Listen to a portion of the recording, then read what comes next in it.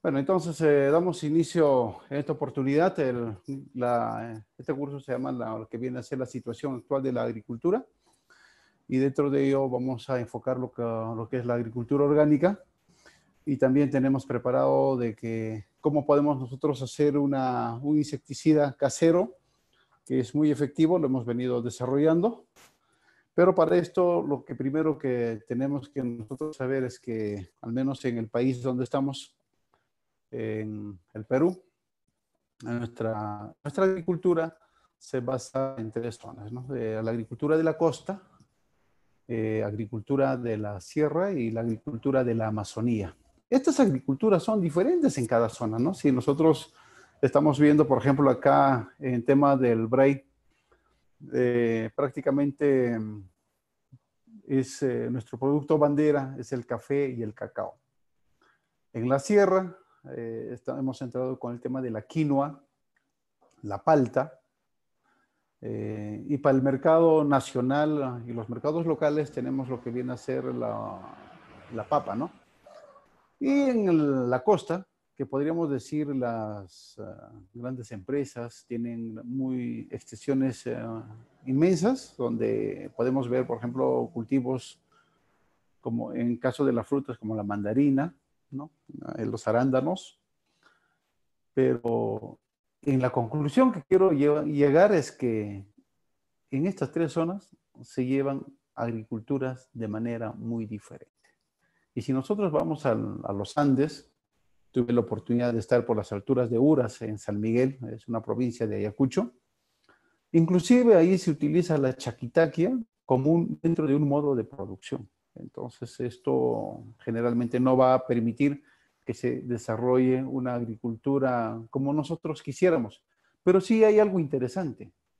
Ellos practican la agricultura orgánica, la agricultura sostenible, eh, la agricultura que puede convivir tranquilamente entre la persona, eh, los animales y el medio ambiente.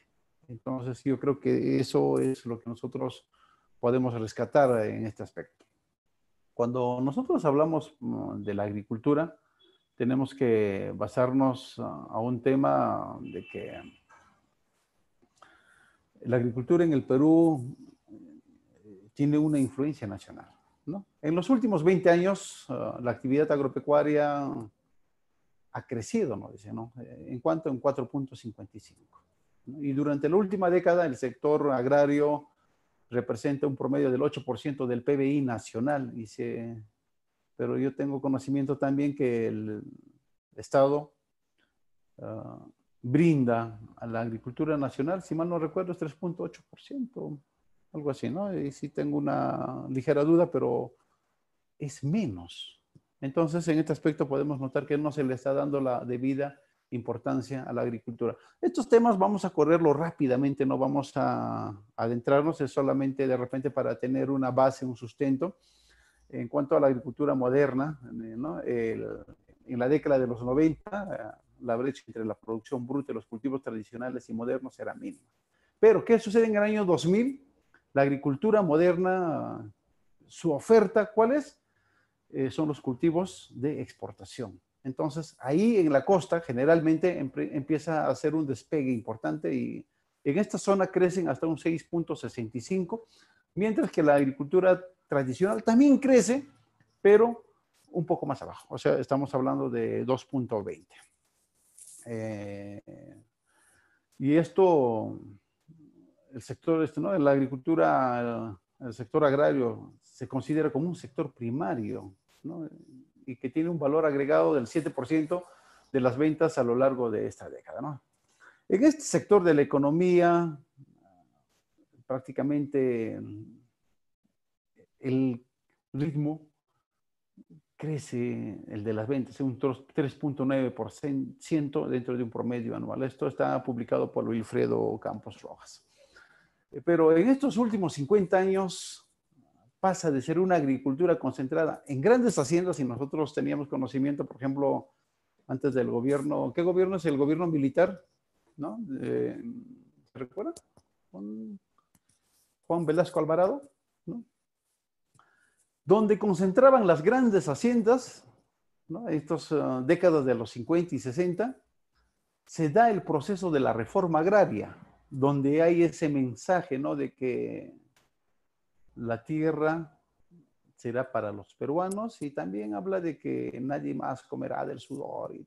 Entonces un, carácter revolucionario en esta reforma agraria que se inicia el año 69 para culminar prácticamente en el año de 1976. ¿Qué sucede?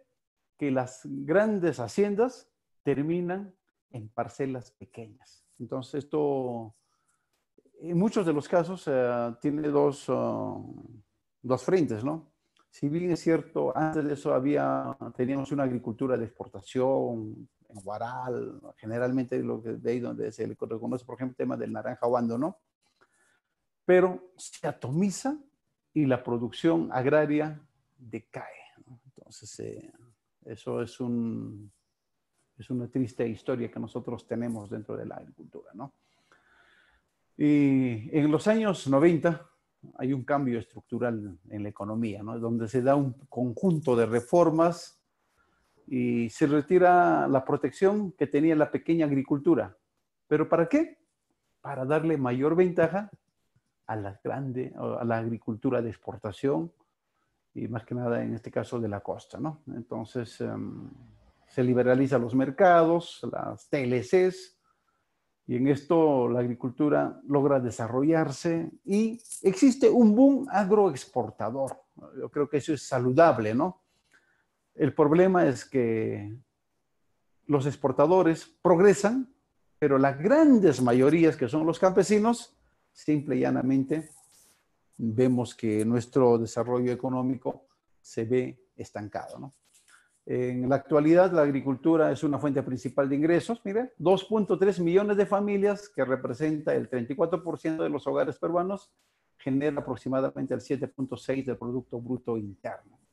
Y en los últimos años la agricultura ha mostrado gran dinamismo promovido por el desarrollo de la agroexportación. Acá tenemos ¿no? el, su crecimiento a un 14.5% desde el año 2000. O sea, hay un desarrollo. ¿no? Y, ¿Y qué sucede también? Que la producción nacional se desarrolla en 2.5 millones de hectáreas. El 84% se dedica a la producción de cultivos transitorios. Mira, acá tenemos, por ejemplo, los principales productos que es el arroz, el 19%, maíz amarillo, el 14%, papa, 13%, maíz amiláceo, trigo, cebada en grano, así que va decayendo paulatinamente.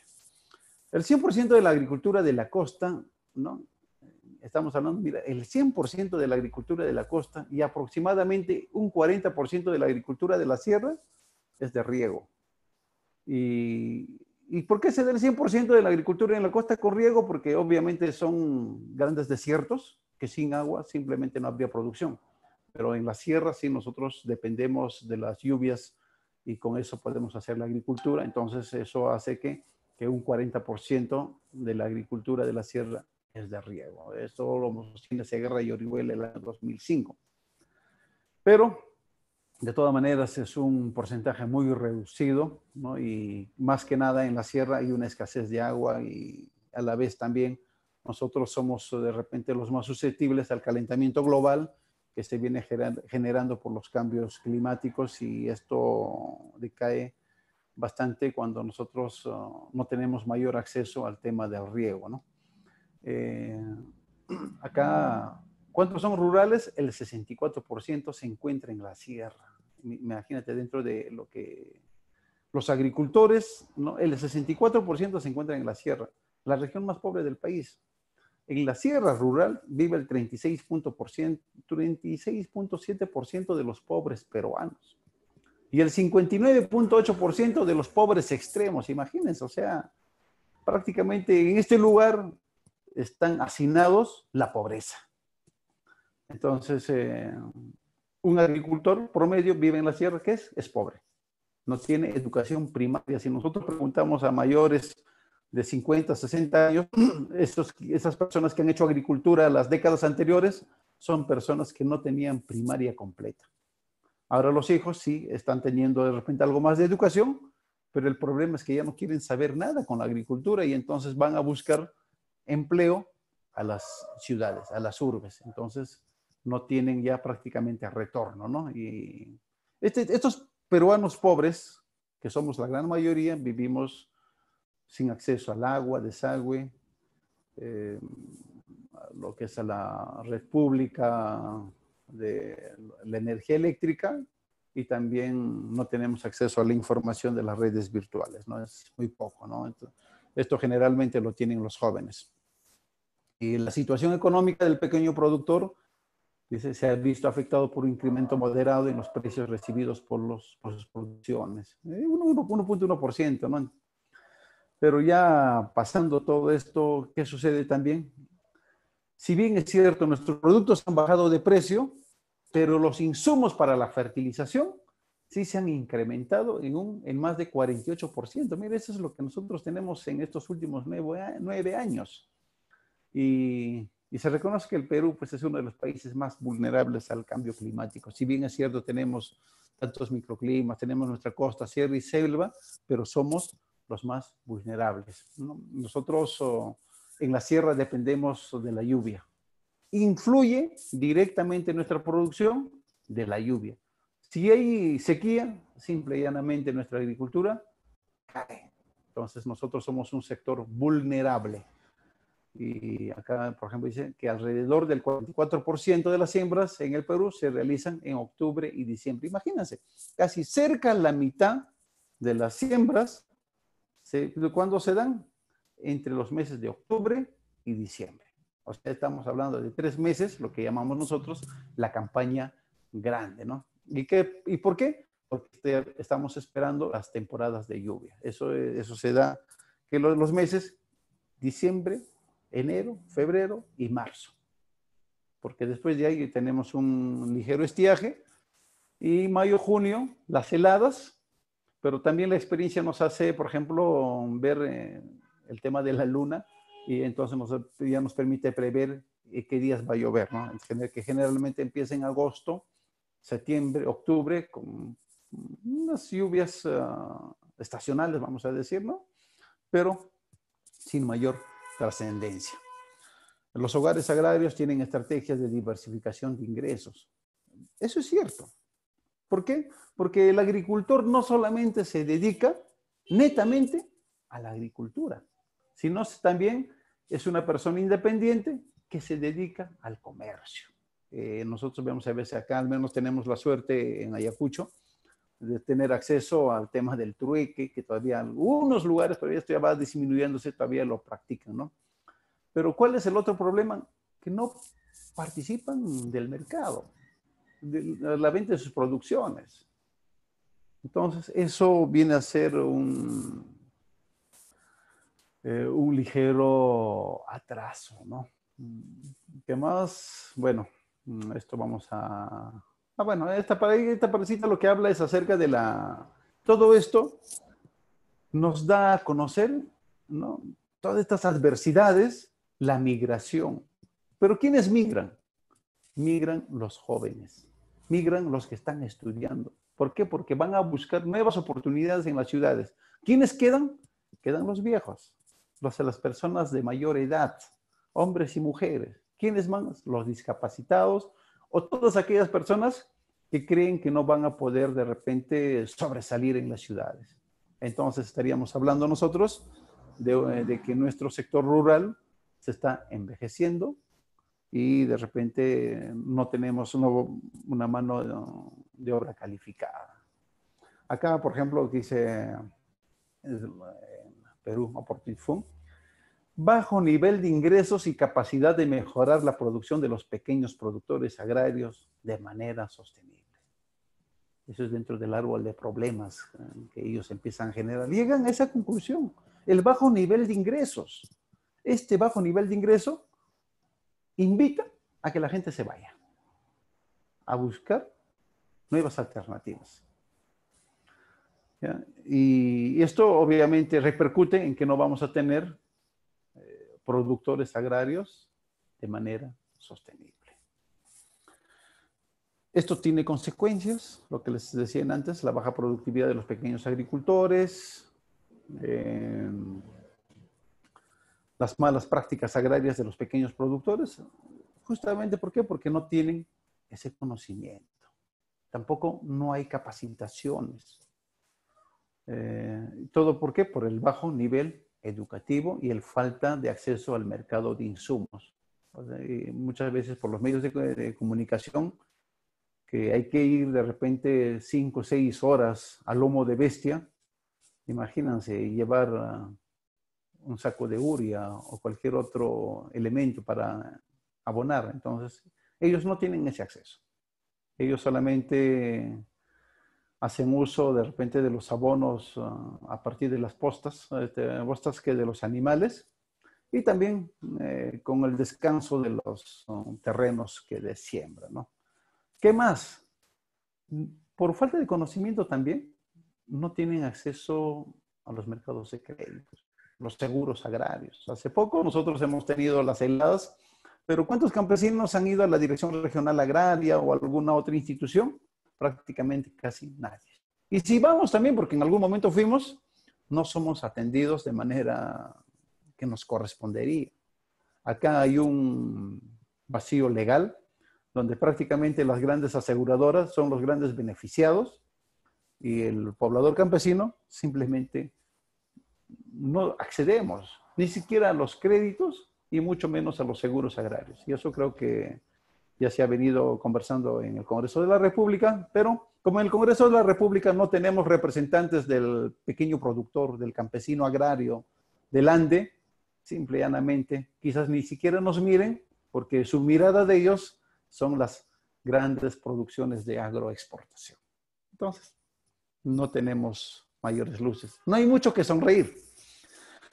Eh, la limitada adopción de nuevas tecnologías productivas, generalmente esto en el tema de los, agricultores que no tienen oferta a las nuevas tecnologías, primero por desconocimiento y otro por capital, ¿no? Eh, esto genera una causa indirecta en el aprovechamiento inadecuado de los recursos naturales.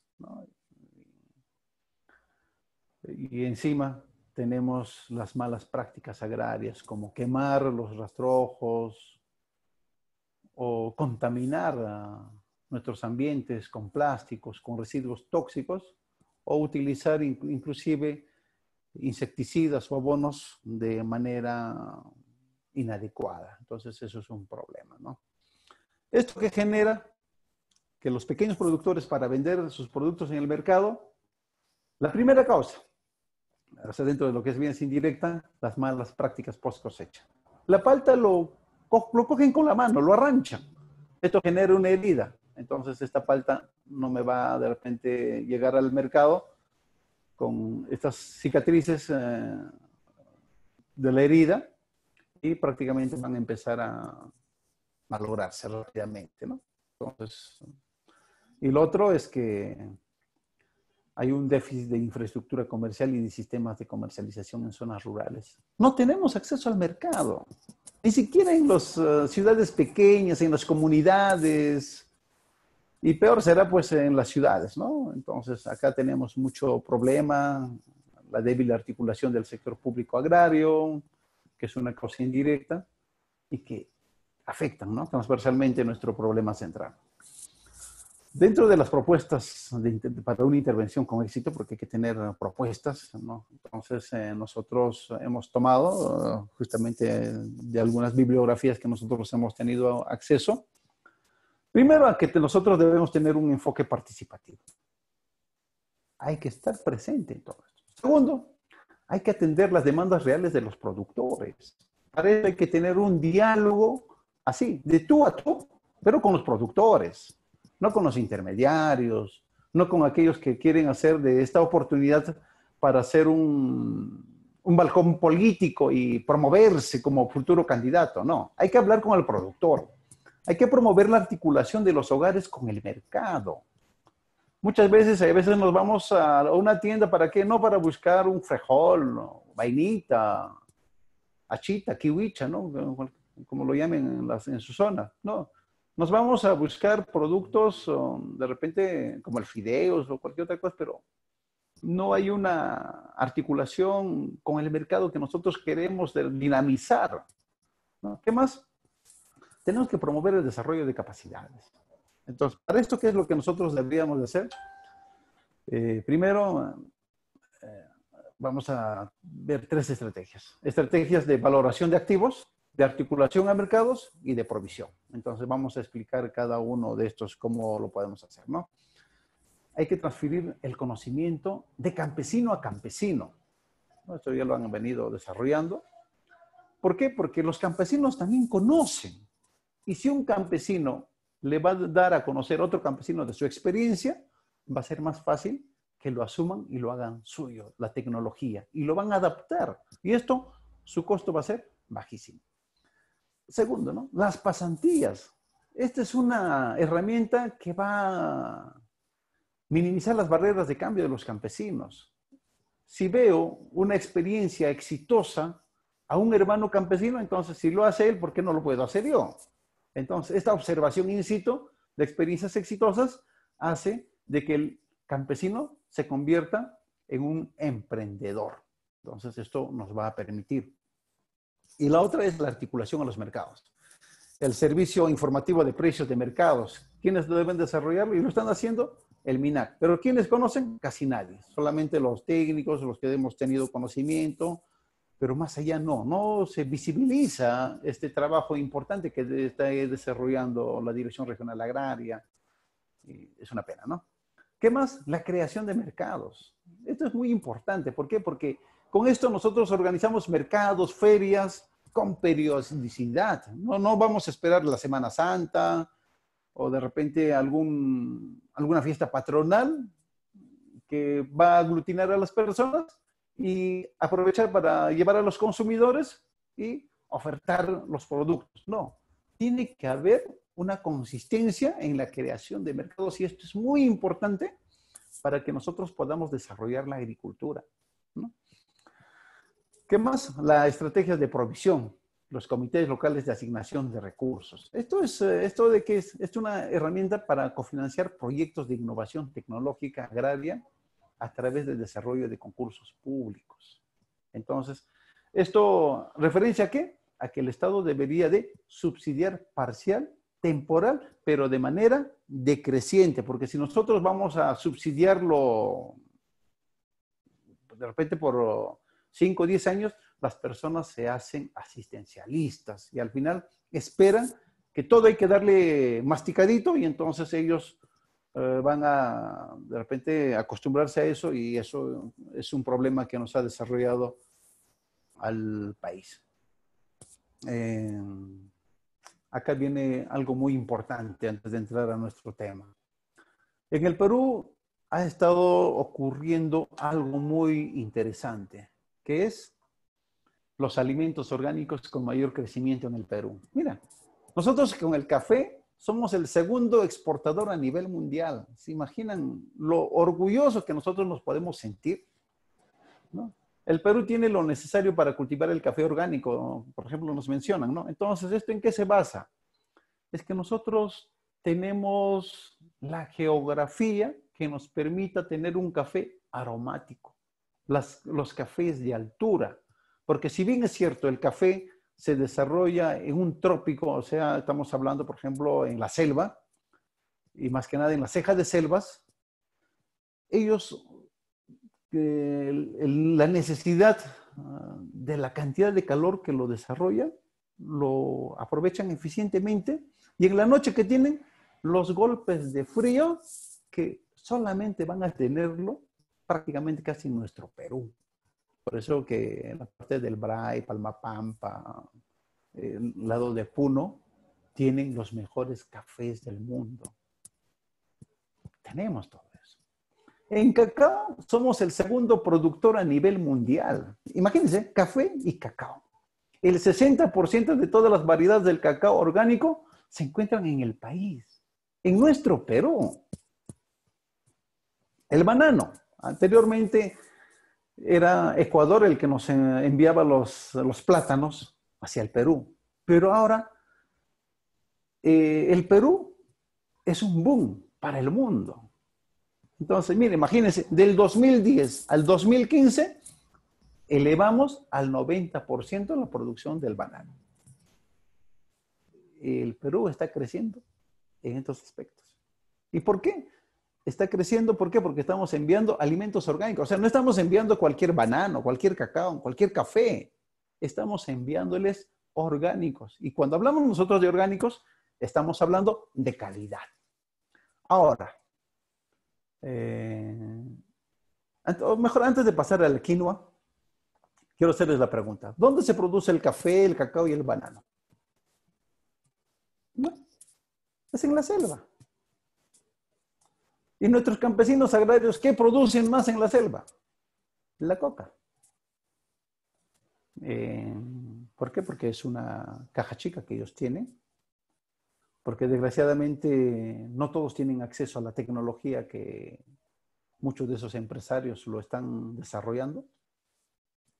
Entonces, eh, acá deberíamos de repente de generar políticas públicas que puedan desarrollar o hacer de que estos productos, como la piña, por ejemplo, que ha venido entrando, ¿no? la Golden, puedas tener mayor aptitud de generar economía en el campo. Entonces, si esto se da, obviamente la gente va a querer repente volcar su producción hacia este lado y dejar la coca, porque creo que a nadie le, hace sentir orgulloso producir hojas de coca con la cual destruimos las mentes y el futuro de muchos jóvenes. Entonces, esto puede ser eh, parte de un diálogo posterior. Ahora, llegamos a la sierra, la quinoa ese producto bandera, ese grano de oro que ha sido bastante, eh, ¿qué le puedo? Podemos mencionar de que en las gestiones anteriores eran prácticamente el producto bandera del Perú, donde llegaron los precios a los 7, 8 soles. En algún momento llegamos a los 12, 13 soles el kilo, pero después caímos rotundamente. Actualmente dice que se sobrepasan las 80 mil toneladas.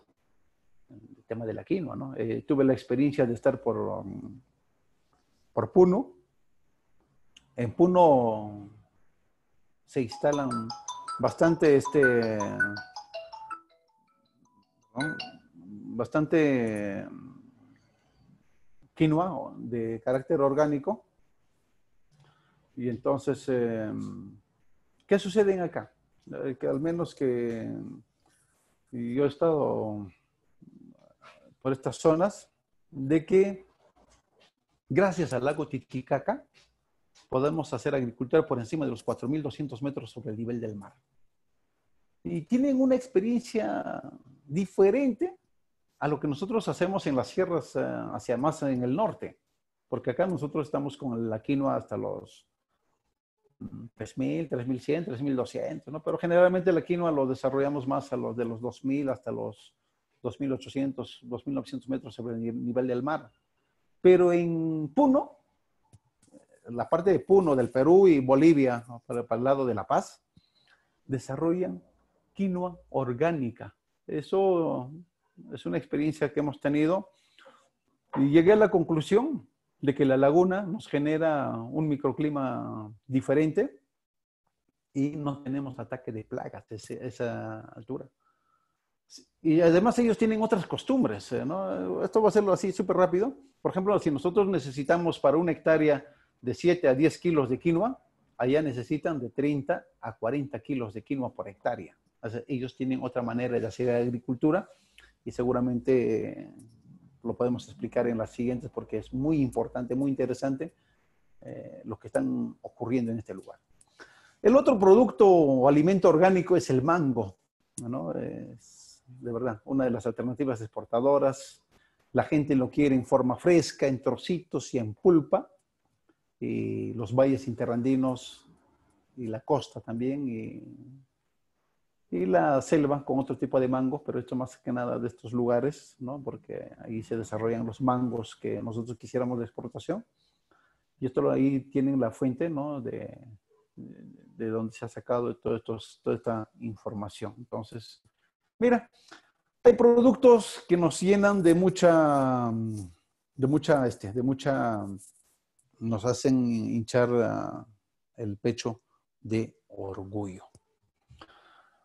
Eh, estamos corriendo un poquito rápido porque es otro nuestro tema, pero hay que nosotros tenemos que conocer en qué piso estamos parados.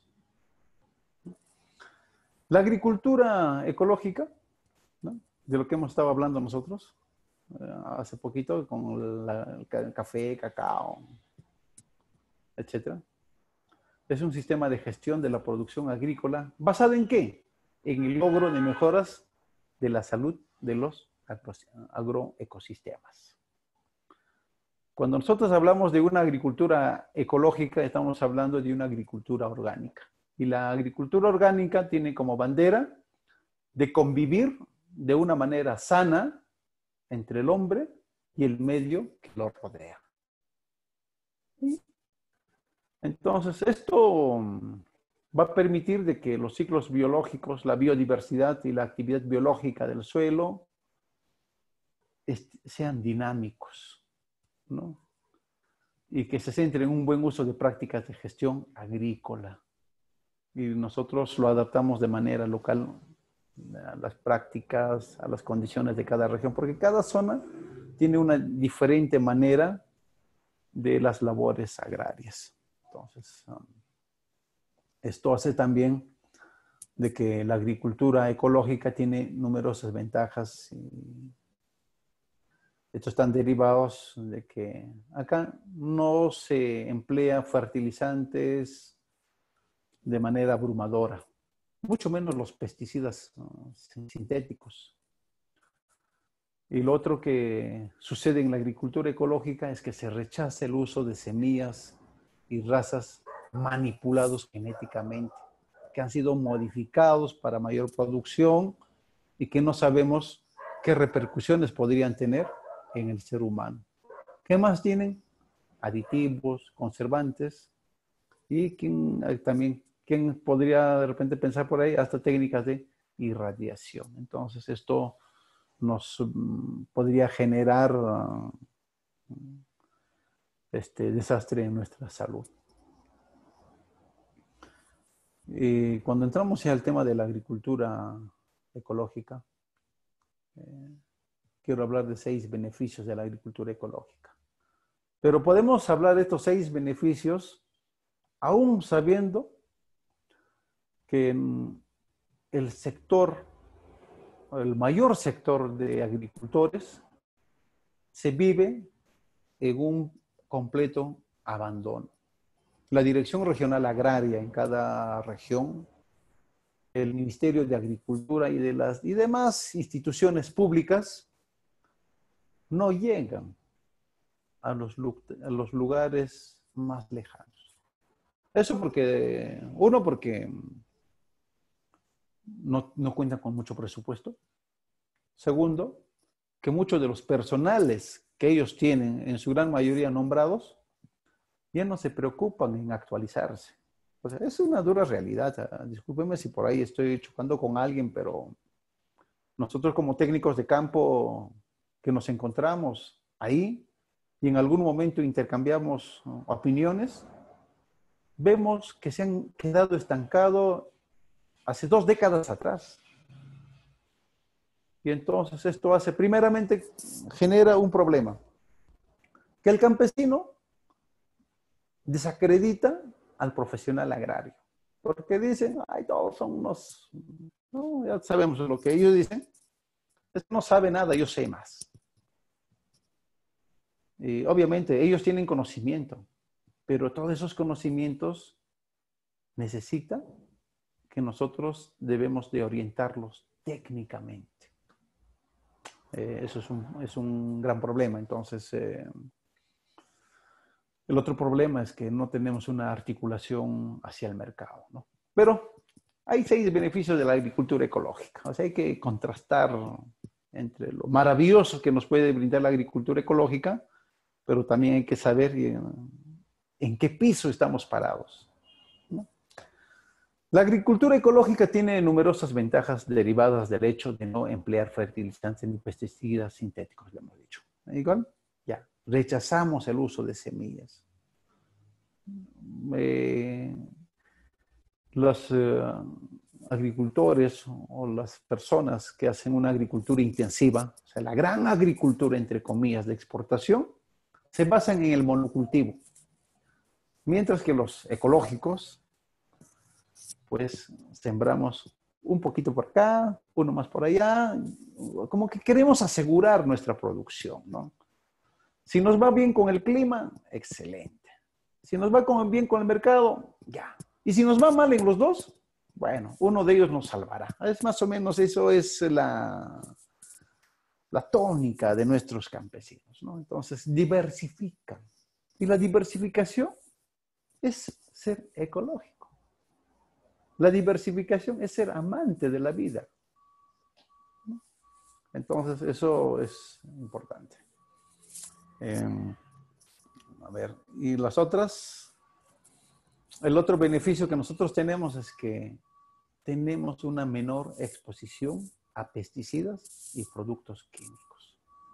Sí, o sea, no, no tenemos la necesidad de estar ah, comprando en cantidades bárbaras los pesticidas, porque la agricultura ecológica previene la resistencia a las enfermedades que presentan plantas, malezas e insectos que se alimentan de bacterias, hongos y plantas por el uso de pesticidas. ¿Qué pasa? Cuando nosotros oh, echamos las pesticidas, ¿qué les vamos a generar en ellos en algunas plagas? Resistencia.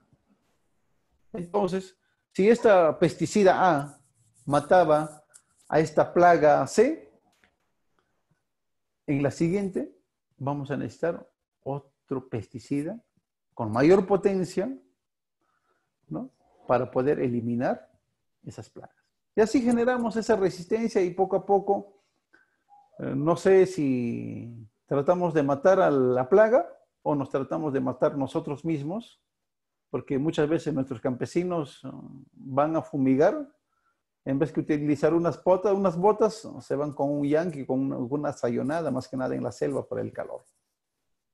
Y eso es una práctica también un poco peligrosos, no un poco no, demasiadamente peligrosos, que sería bueno tocarlos en los, siguientes cursos, qué es lo que nosotros podemos, cómo podemos nosotros orientar y sensibilizar a los campesinos. Primero, a no, si es que lo utilizan, a no utilizarlo de esa manera. Hay que tener los cuidados necesarios. Pero sería mucho mejor si nosotros le enseñamos a producir sus propios pesticidas, que se puede hacer, y lo vamos a hacer eh, el día de hoy, a partir de nuestras plantas. Entonces, eh, el producto químico debe ser la última alternativa cuando ya no podemos. Entonces, eso sería interesante trabajarlo de esa manera. Entonces, eso tiene que ser un trabajo de cada uno de nosotros como técnicos y como amantes de la agricultura orgánica, ecológica. Los otros beneficios tenemos, mira, son seis, solamente seis hemos escogido y ya vamos en la tercera. Favorece la conservación del agua y que esta agua mantenga su calidad. Porque muchas veces vemos en el campo, ¿no? Cuando utilizamos los agroquímicos, los envases, ¿dónde se le tira? Al río, al riachuelo, a los manantes. ¿Y eso quién bebe? En el campo lo bebe el campesino mismo, lo beben los animales, juegan los niños. Entonces, le estamos generando un problema sanitario de salud a toda esa población. Pero cuando nosotros hacemos agricultura ecológica, no sucede eso. ¿Por qué? Primeramente, la agricultura ecológica va a requerir una menor irrigación, porque nuestras plantas, nuestro suelo va a tener vida vamos a necesitar de hacer un mulching. Eh, y que esto va, ¿qué cosa va a apoyar? A contribuir a conservar el agua. Esto es muy importante. Mm, se modifica el suelo, pero de manera positiva, de manera apropiada.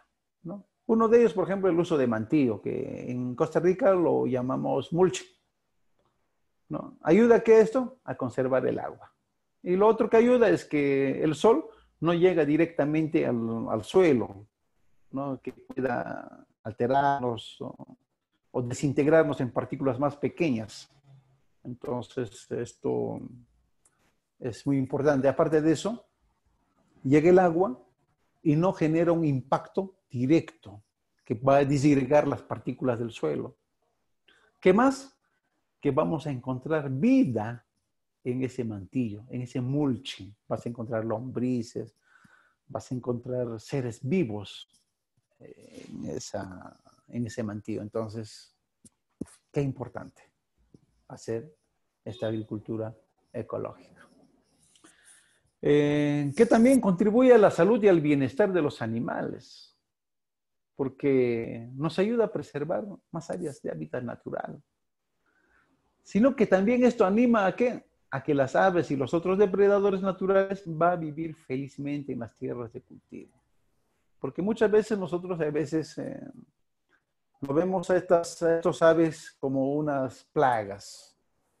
Pueden ser plagas, pero no, el fondo son controladores biológicos que tenemos. ¿no? Tengo una experiencia en algún momento, a alguien se le ocurrió por un lugar denominado Wari de echar cebo para que las águilas y los halcones puedan morir porque se lo estaban exterminando a los pollitos y a, los, a estas aves de corral que ellos tenían. Pero ¿qué sucedió? De exterminar se exterminó, pero al año siguiente se llenó de roedores, de ratas. Y la rata empezó a diezmar los cultivos. Hasta empezaron a comerse las tunas, porque es una zona productora de tuna, de la, fruta de la tuna.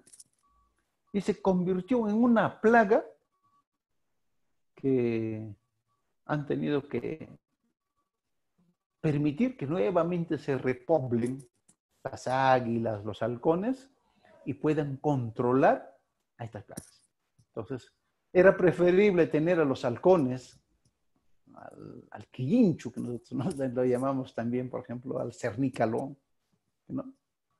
antes que tener una rata. ¿no? Entonces, eh, ¿esto que nos permite? A tener un control natural de las plagas. Ahora, también puedo, por ejemplo, he visto experiencias exitosas donde unos ciudadanos en la ciudad, de Huanta, cuando tenían su cultivo de quinoa, compraban 100, 100, 150 pollitos, creo que compró de uno, ¿no? Y los pollitos lo echaban al este, a los eh, cultivos de, de la quinoa. ¿Qué hacían estos, estos avesitas? Estas aves, primero lo que hacían era consumir las ramas que estaban ya secándose o que tenían ligera enfermedad que están en la parte baja, o sea, en la parte de abajo. Y segundo, que te controlaban todos los grillos. Claro, por ahí siempre alguna que otra lombriz también se iba, ¿no? Pero las lombrices, como están dentro de la tierra, eran muy pocos, pero las, eh, más que nada los grillos eran controlados de esta manera. Entonces, acá también viene, por ejemplo, las experiencias de algunos campesinos que nos ayudan a, a desarrollar técnicas que son amigables al medio ambiente, amigables a la vida. El quinto beneficio de la agricultura ecológica, la agricultura orgánica, es que esta agricultura ecológica bien aplicado ayuda a reducir los efectos del calentamiento global y a minorar el cambio climático. Y se debe a estas razones. Primero, porque puede disminuir la emisión de dióxido de carbono, el metano y el óxido nitroso, que muchos de estos están pues en los um, insecticidas, fungicidas, pesticidas, eh, en el tratamiento inadecuado que se les da a cada uno de ellos. Y aparte de eso, ¿cómo afecta también los, el tema del calentamiento global? Porque a veces utilizamos los aerosoles, ¿no? Entonces, bueno, afectamos de diferentes maneras, de manera negativa.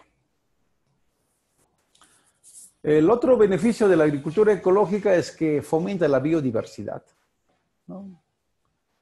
En, una plantación, este, la agricultura orgánica, para empezar, es rentable.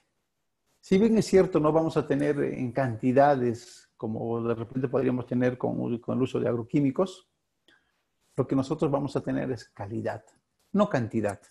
Y esta calidad cuesta, tiene un costo. Los, eh, las personas que cuidan su salud pagan.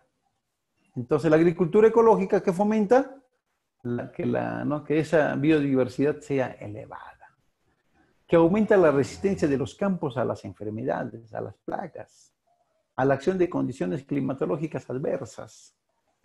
Eh, les cuento una experiencia. En mi valle, en el Valle de la Compañía, las uvas se desarrollan mejor cuando lo siembras en el muelle. Pero si tú lo siembras ah, solo, va a ser ah, atacado por diferentes enfermedades. Pero en el muelle no. ¿Y por qué creen que no, es atacado en el muelle? Es que tiene acción repelente el muelle. Y esto hace de que las uvas sean de calidad en estas plantas. Y, así nosotros podemos nosotros encontrar otras plantas para tener ese ejemplo, ¿no? Este, uno que,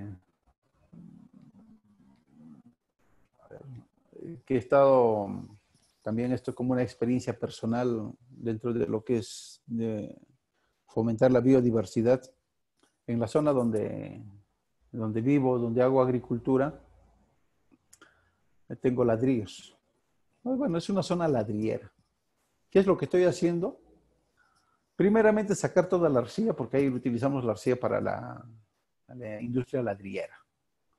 Y luego ahí le voy a devolver eh, las rocas o roquillas, arenillas. Y esto que me va a permitir la ideación del suelo y que nuestras plantas, además que nada los forestales a, a la cual yo estoy dirigido, va a poder desarrollarse de manera efectiva. Pero eso que estoy haciendo, encima le estoy poniendo una capa de ladrillo. ¿Cuál es el objetivo de esta capa de ladrillo?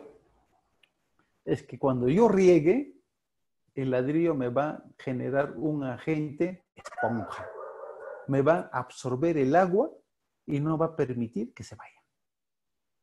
Y he visto cómo mis plantas con sus raíces empiezan a envolverlo al ladrillo para succionar la humedad que me guarda este ladrillo.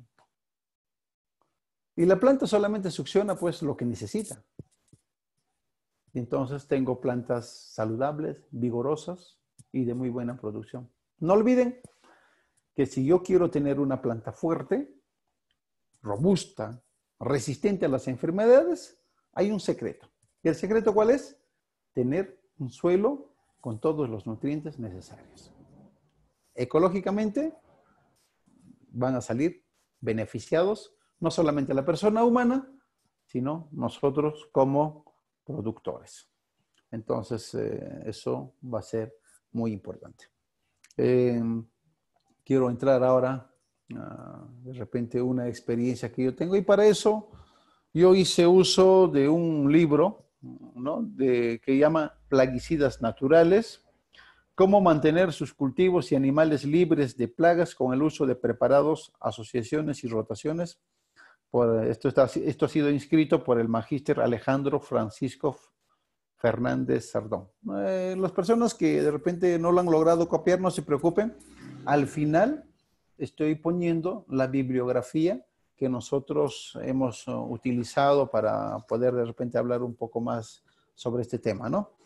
También los abonos orgánicos y la lombricultura. Esto es por Cristian Sánchez, que también le hemos dado una lectura muy interesante, eh, donde nos hablan acerca de los tipos de abonos y cómo usarlos, los abonos minerales, los abonos nitrogenados orgánicos y una comparación entre abonos químicos y los orgánicos y cuáles son las consecuencias de los químicos y a la vez también eh, cuál es el beneficio del abono orgánico. Y el otro libro que de repente siempre me ha llamado la atención ha sido un libro que lo compré justo a Jairo Restrepo. Seguro que muchos de mis colegas lo conocen porque es una de las ah, profesionales que ha desarrollado bastante la agricultura orgánica Eh, y el, justamente el título de, la, de su libro es Agricultura Orgánica, Biofertilizantes Preparados y Fermentados. Acá tiene una manera peculiar de nominar, de ponerlo, ¿no? De, dice, preparados y fermentados a base de mierda de vaca. Entonces, eh, lo toma de esta manera y de verdad, detrás nosotros tenemos la figura de una vaca, pero en el estómago tiene un biodigestor. Entonces, eh, es muy interesante. Yo les, eh, les sugiero, si tienen que comprarse, por favor, cómprenlo esto o búsquenlo por el internet. Jairo Restrepo, Jairo Restrepo es para mí una de las personas de campo con mayor presencia acerca de los biofertilizantes y que nos van a enseñar de que cómo funcionan. Entonces, acá tienen algunas bibliografías. Y lo que me había comprometido con ustedes, y esta es una experiencia que ya la tengo. Mira, acá al menos en mi zona, cuando nosotros vamos al mercado, hay personas que venden todo tipo de hierbas. Ahí nosotros que estamos viendo, mira si ven el puntero donde estoy yendo, aparte de la cebada, porque esto es para hacer bebida, tenemos, esto es, se lo llama como cola de caballo, no sé cómo lo llamarán en su zona. Amigos, eso es un mm, insecticida potente.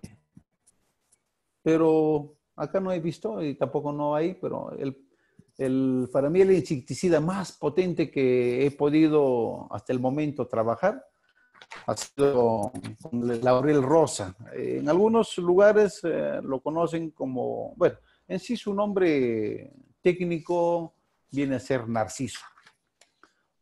Se le conoce, para que lo encuentren ustedes en el internet, mm, es el adelfa, el nerium oleander, el adelfa, eh, que es el narciso, está considerado inclusive dentro de las 10 plantas más venenosas del planeta. Entonces, en esta planta sí hay que tener una manipulación con guantes para molerlo. Nosotros acá lo hacemos en batán por la toxicidad que tiene esta, esta planta, no lo hacemos en una licuadora. Pero no es necesario licuarlo ni nada, es simplemente un poquito machacarlo y luego lo podemos hacer hervir o lo ponemos, podemos poner a un biodigestor. El otro que yo he utilizado en esta oportunidad ha sido, por ejemplo, acá, tengo, acá ven el puntero, no sé si estará saliendo, eso se llama romero. ¿Ya? Eso, bueno, también existe como apellido romero, pero romero es una planta que es un insecticida. Entonces, ¿qué es lo que yo hice yo en esta oportunidad, por ejemplo? ¿no? Eh, es un huerto que yo tengo en el valle, me tengo todo tipo de plantas. Empecé a coger la albahaca. Conocen la albahaca, ¿verdad? Es una planta aromática, muy agradable en el tallarín. Acá tengo las dos plantas, la albahaca y el romero. ¿Qué es lo que voy a hacer en esta oportunidad? Pues lo voy a hacer hervir durante 10 minutos en una ollita. Y aproximadamente ahí tenemos justamente en, el fogón de campo. Dicho sea de paso, el fogón que hemos hecho también es ecológico y es un fogón que me he ingeniado, o sea, esto no lo he... Bueno, sí habían unos parecidos, pero ya me he tenido que ingeniarlas porque tiene una escotilla para graduar la intensidad del calor y también tengo una cámara para limpieza y se, le ha adecuado una caja china. Ah, ojalá que en algún momento de repente los que están en Ayacucho puedan visitarme y puedan ver esta... Me, me salió interesante esta cocina. Bueno, pero el diálogo es otro. Estoy haciéndolo hervir, justamente acá la albahaca y el romero. Estimados amigos, si ustedes tienen acceso a la, este, a la cola de caballo, esa, esa plantita que crece en las riberas de los ríos, se le adiciona, van a incrementar su potencia. Si a esto lo adicionan el adelfo, el narciso, o la laurel rosa, como se lo llaman, acá dice, acá tengo los nombres, a ver, la delfa, En Cuba se le conoce como rosa francesa, en Estados Unidos como oleander, eh, laurel rosa, laurel blanco, laurel colorado, bueno, es en México y Ecuador, porque tienen esa forma de laurel. En Guatemala se le conoce como narciso, también en El Salvador. Berberia en Venezuela, rosa laurel en México, flor de Habana en Colombia, adelfa sencilla, laurel rosada en Puerto Rico. Diferentes nombres que tiene esta planta. Un insecticida potente. Si lo adicionan, excelente. Pero si aquí lo, ponen, por ejemplo, canela, entonces le estarían poniendo una propiedad fúngica más a nuestro producto. Pero acá modo solamente he tomado, porque es muy sencillo, tener una albahaca y el romero. Y una vez que lo he hecho hervir, se hace enfriar y utilizamos el cernidor para separarlo de las Mm, de las hojitas que se pudieron haber quedado. ¿no? Entonces, después de hacer esto, lo ponemos a una bomba de fumigar. Mm, y luego, ¿qué hacemos? Ubicamos a las diferentes plagas que están atacando a nuestras plantas. En este caso, es una planta de hiedra, es una planta maravillosa que tengo. Imagínense, este, esta planta justamente tiene los ladrillos en la base como colchón o esponjas de agua. Y, vean, mira, el este, ¿no? Inmensos, inmensas las flores. He utilizado los neumáticos de mi maquinaria pesada ah, para poder tenerlo ahí, porque mi objetivo, la hiedra tiene la propiedad de colgarse, entonces eh, Dios mediante, en un tiempo cercano, voy a tener eso cubierto con un manto de hojas verdes con flores rojas se va a ver maravilloso. En otras la tengo de color rosado, tengo color morado. Es maravilloso. Entonces, están viendo ustedes acá. No he utilizado ni un solo gramo, ni un solo gramo de un fertilizante químico. Así que pueden ver ustedes la calidad de la planta. ¿Qué es lo que tengo allá? Compost y humus de lombriz, que es lo que producimos también en nuestro valle. Y bueno, he aprovechado también porque me ha sobrado de buscar. Por ahí tengo mi huacatay. Por favor, no es marihuana, es huacatay. ¿Ya? Eh, por favor, no vayan a estar uh, brindándome adjetivos que no me lo merezco, pero dentro de ese huacatay está el, uh, el tomate, que el pulgón blanco me lo está afectando. Entonces le estoy echándole su eh, este, insecticida, pero de producción orgánica. Bueno, por ahí también tengo algunos ah, cítricos. Esa es una Washington Navel, una planta que tengo. Mira, si ustedes ven a los laterales, también tengo una, sembré el 7 de septiembre, mi maicito. Ahí están los maizales. Entonces, compremos humitos, choclo de acá para el mes de enero. Y mira, estoy fumigando también mis, ah, eh, mis maíces y no tengo ningún problema de fumigarlo frente a mi apiario, a las colmenas que tengo. Ayer tuvimos un curso de apicultura, ¿no? Ahí está. Entonces, no tengo ningún inconveniente, no me va a generar ah, toxicidad o muerte a las abejas. Y aquí está la bibliografía que ha sido consultado para que ustedes puedan tener acceso. Eh, y ahí está también la agricultura orgánica de Jairo Restrepo los abonos orgánicos y lumbricultura y plaguicidas naturales. Este de plaguicidas naturales de Alejandro Francisco Hernández es muy importante porque no solamente eh, te va a enseñar, por ejemplo, qué plantas utilizar, sino, por ejemplo, dice, ¿con qué plantas se controlan estas plagas? El caso del ácaro se controla con tabaco, ¿sí? Dejas la barroa, nosotros lo controlamos con el tabaco la cebolla, la higuereta, tomate, cúrcuma, mamé, hierba limón, etc. Los áfidos, también con tabaco, con ajo, cebolla, paraíso, ají picante, guanábana, acá dice cilantro, pero nosotros lo conocemos en el Perú como culantro, manzanilla, albahaca, ah, ahí está la albahaca, eucalipto, espinaca, piñón amoroso. Señores, prácticamente en el mercado tenemos todos los insecticidas orgánicas y estamos yendo a dónde? A buscar un insecticida o un fungicida de origen químico. La antracnosis, ¿con qué? Con ajo. La babosa, controlo con adelfa, incienso, nin. Las bacterias, con tomate. El barrenador del melón, con mamey. El barrenador de tallo, con tabaco. Y así sucesivamente las cochinillas con incienso, los chinches con piñón amoroso. Y si no tienes conocimiento, entonces en el mismo libro también te dice con qué nombre se le conoce en diferentes países, por ejemplo, el tema del piñón amoroso, ¿no? De repente no tenemos acceso a eso.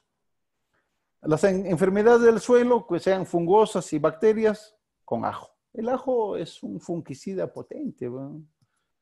En algún momento he visto personas que se untan los pies con ajo para poder contrarrestar sus enfermedades fúngicas. El escarabajo de la papa, el escarabajo en general, por ejemplo, romero y anís. Imagínense, acá tenemos el gorgojos de almacén, higuerita, hierbabuena, tabaco, eucalipto. Y así, si nosotros vamos leyendo, dándole la lectura, Llegamos al gorgojo del arroz, grillos, gusano cogollero, gusano de manzano, eh, hongos, hormigas, insectos, langosta, mariposa, mosca, mosca blanca. Acá está, en la mosca blanca con qué? Con tabaco, nin, orégano, bueno, el orégano francés y albahaca, que nosotros hemos utilizado en antes. Dentro de esto no he, le dado, no he podido encontrar, pero también la ceniza es un insecticida que nosotros podemos utilizar. ¿ya? La insecticida que haces, lo remojas en el agua, lo mueves bien, bien, lo dejas reposar, por decantación la ceniza va a caer a la base, pero ese líquido lo puedes utilizar como insecticida. Mira, qué cosas nosotros tenemos en el mundo que nos pueden permitir vivir de una manera armónica y hay veces por desconocimiento no lo estamos haciendo uso. Los ratones, ¿con qué se controlan? Imagínate, con el aguacate, con la palta.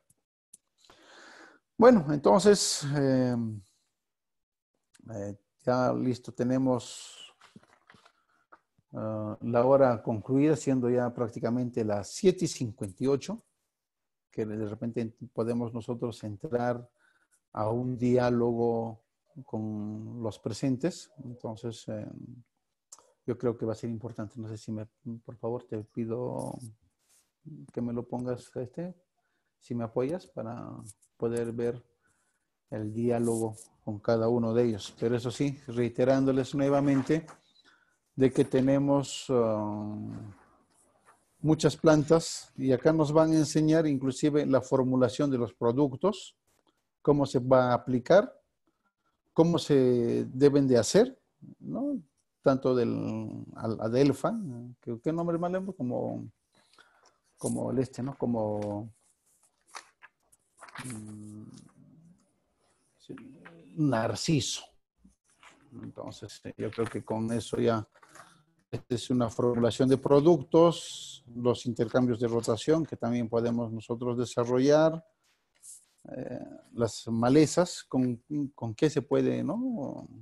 controlar, es importante llegar a una agricultura orgánica.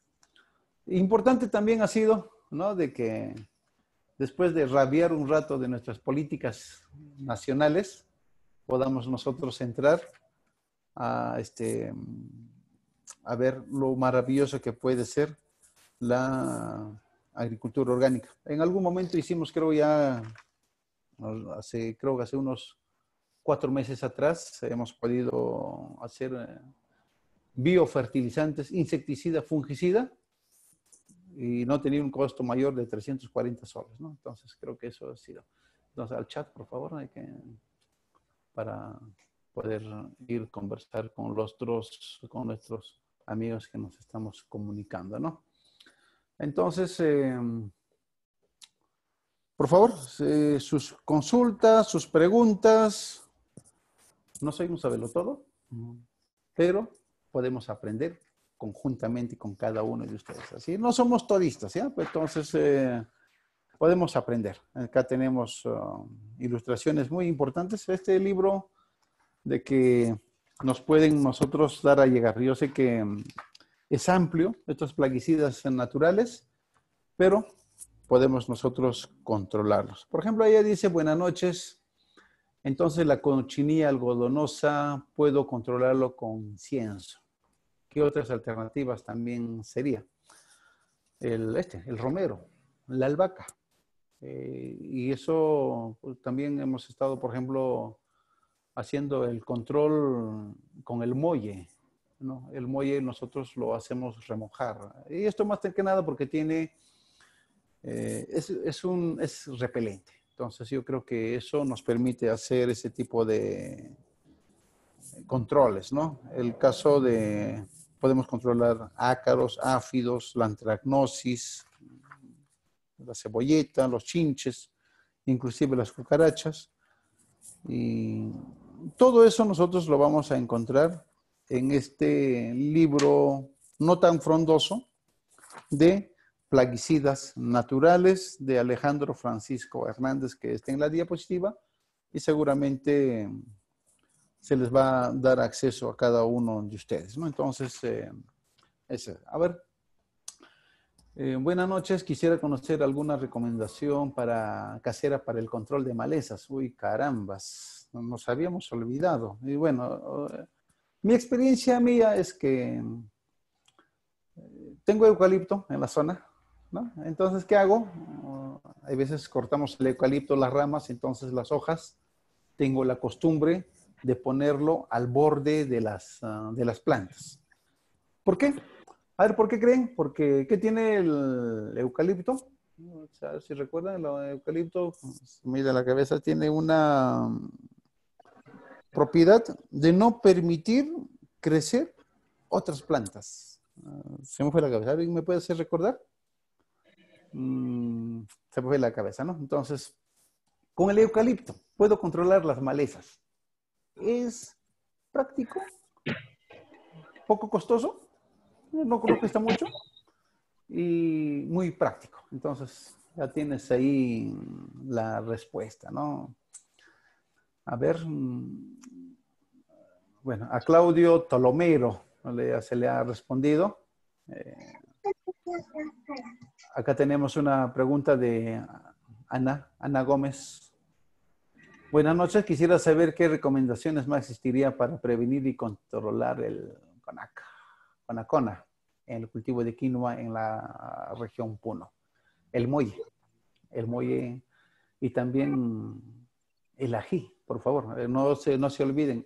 El ají, el limón, la naranja, todos ellos cumplen una función de unos controladores. Entonces, pero hay que ser algo más exacto, ¿no? Cuando les digo, podemos controlar, podemos menguar, pero eso no quiere decir que lo vamos a eliminar definitivamente. Pero el muelle puede ser una, una labor muy importante en caso del conacona. Eh, ¿Cómo puedo controlar la mosca de la blanca? Con lo que hicimos hace poco, ¿no? Con albahaca, con romero, la ceniza, ¿no? Eh, y si ahí le ponemos un poco más de repente de cola de caballo, entonces estaríamos controlando. Bueno, el otro, bueno, ¿cuál es la idea para controlar los áfidos en la lechuga? igual también es eh, romero, la albahaca. Eh, si se me va, a ver si de, búscamelo por favor de los áfidos, el control. Eh, no tengo todo así en esto, pero en este libro nosotros tenemos ah, identificado, ¿no? Con qué puedo controlar ah, o, las plantas que controlan a las plagas, ¿no? A ver, mm, a ver, ¿estas plantas controlan mejor a las plagas mediante un proceso de fermentación o haciéndolo hervir? Bueno, en este caso, lo que sí me ha dado mejores resultados es la fermentación. Ah, entonces, eh, yo creo que en una próxima, en un próximo taller podemos hacer, porque acá yo tengo todo un trabajo que hemos desarrollado mediante el proceso de fermentación y justamente ahí le hemos puesto pues eh, desde la ceniza, la penca de tuna, porque no solamente era un fungicida, era un insecticida, era fungicida, era un abono foliar, ¿no? Y, y encima también tenía adherente, porque justamente las pencas de tuna lo poníamos para que sirvan como adherente. Entonces, eh, en primer lugar está la fermentación.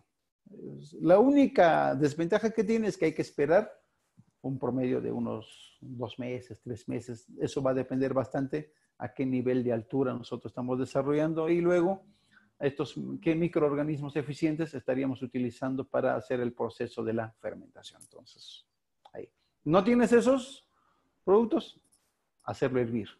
Si no tienes eh, hacer los dos, entonces hay que hacerlo remojar. Por ejemplo, el molle lo podemos dejar tranquilamente unos 6, 7 días remojado y eso se convierte también eh, en un potente y servicial amigo para poder alejar a las plagas. ¿no? ¿Por qué? Porque el molle tiene un control repelente. Entonces, em, el control de trips, el cultivo de papa. Mm, sí, tenemos esos ligeros problemas. Ahí lo podemos hacer como lo hemos estado haciendo.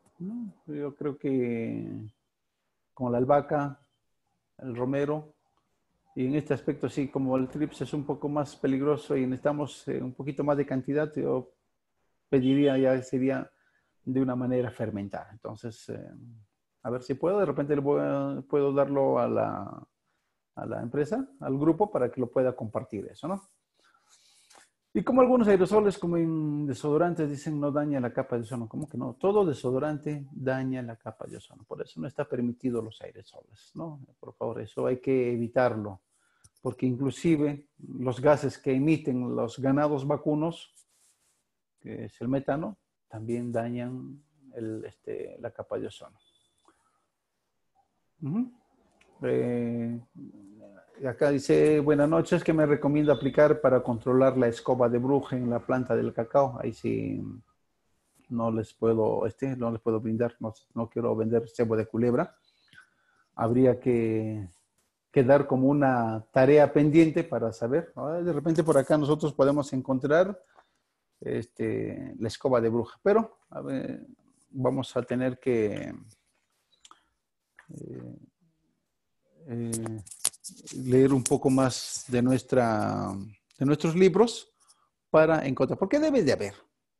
Todo en la vida se controla. Entonces, yo creo que en este aspecto, uh, si me da un poco más de tiempo, lo vamos a hacer. Pero igual, no quiero generar este, ¿no? inconvenientes con algo que también desconocemos. Ya les he comentado, no somos todistas, pero sí podemos aprender de ustedes. Bueno, muchísimas gracias y creo que ha sido una hora de poder compartir uh, esta diapositiva. Uh, es una diapositiva bien rara que hice, ¿no? Un poco del rencor para llegar al amor. Y de eso llegar a una alternativa.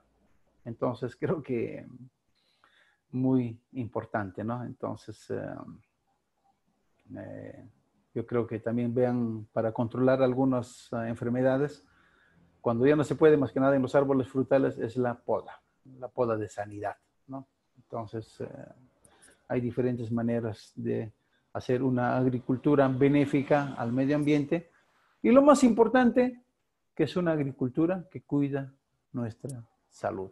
¿no? Muy agradecido a cada uno de ustedes. Quiero que por favor en mi Facebook de Irving González.